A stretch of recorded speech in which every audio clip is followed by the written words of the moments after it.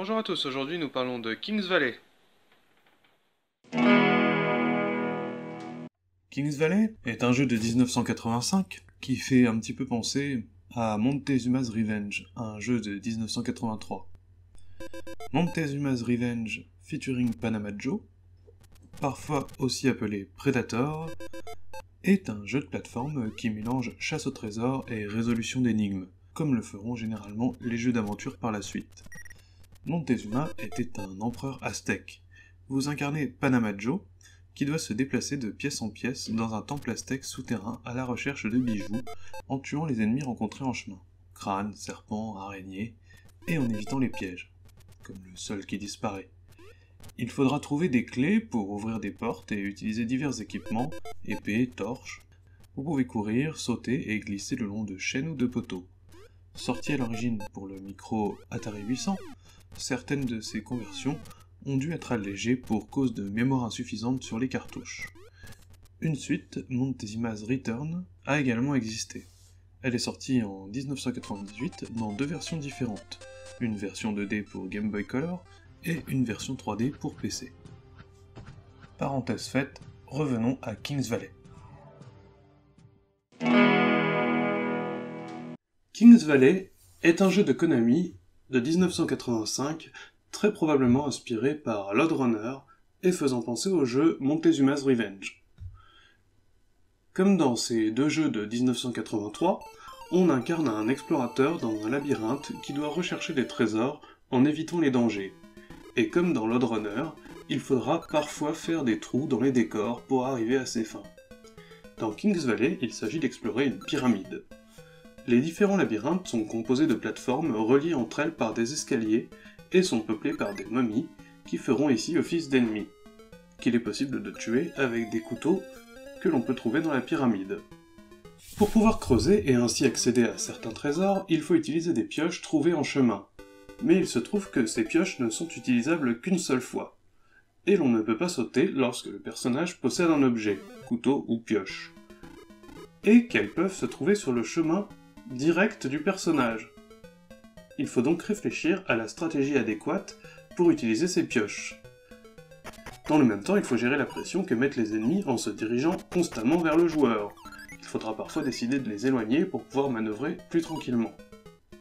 Il faut collecter tous les trésors pour que la porte de sortie du niveau soit accessible.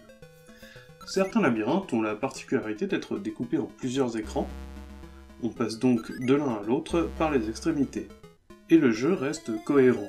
Si on lance un couteau vers l'extrémité droite, l'ennemi qui se trouve face au couteau dans l'écran suivant, donc non visible, sera tué par le couteau. A l'inverse, cela demandera parfois d'avoir des réflexes, ou des précautions, lorsque l'on se retrouve face à un ennemi que l'on ne voyait pas. Le jeu est assez difficile et propose une vingtaine de pyramides qu'il faudra explorer avec uniquement 3 vies. Le jeu a été refait pour téléphone portable, puis en homebrew pour ZX Spectrum en 2009, pour l'Espagne. Il a également été rendu disponible au Japon sur deux compilations Konami pour PlayStation et Saturn. En 88, Kings Valley 2, The Seal of El Giza pour MSX, MSX2 et DOS est une très bonne suite. Elle propose 60 pyramides différentes, une dizaine de thèmes musicaux, un éditeur de niveau, un système de mots de passe, une bonne jouabilité, de nouveaux outils, des parois indestructibles, un nouvel ennemi, un sphinx qu'il est possible de monter, de nouvelles armes, épées, boomerang, des blocs déplaçables, des bonus cachés, un jeu de taquin et un lecteur de musique du jeu. Il y a même cette fois un petit scénario. La civilisation égyptienne était en fait composée d'extraterrestres et les pyramides leur servaient à rentrer vers leur planète. Cependant, elles contenaient un système d'autodestruction, qui s'est enclenché suite aux nombreuses visites de ces pyramides au cours des siècles. Il va falloir réussir à désactiver ce mécanisme. Au niveau du gameplay, le jeu est plus exigeant, avec une difficulté progressive, dans le sens où les objets sont distribués beaucoup moins généreusement, obligeant beaucoup à réfléchir sur l'ordre des actions à effectuer, et renforçant ainsi le côté puzzle game. Les plus grosses pyramides peuvent être composées par deux rangées de trois écrans. Il existe aussi une version très rare de Kings Valley 2, sous-titrée Edit Contest Version. Pour valoriser l'éditeur de niveau, un concours avait été organisé au Japon en partenariat entre Konami et la presse spécialisée, et les niveaux conçus par les joueurs étaient mis en concurrence. Quatre magazines ont choisi chacun 5 niveaux vainqueurs du concours. Ce sont ces 20 niveaux qui sont disponibles dans cette version, avec un message de félicitations adressé aux participants. Malgré la qualité de Kings Valley 2 sur MSX, le titre n'a jamais été réédité ou inclus dans des compilations ultérieures. Il existe une version DOS sortie en Corée en noir et blanc, et le jeu serait sorti de manière non officielle sur ZX Spectrum en Biélorussie en 1994. Cependant, il existe différents remakes accessibles via internet, dont celui de la communauté Click Team, qui est bien réputé.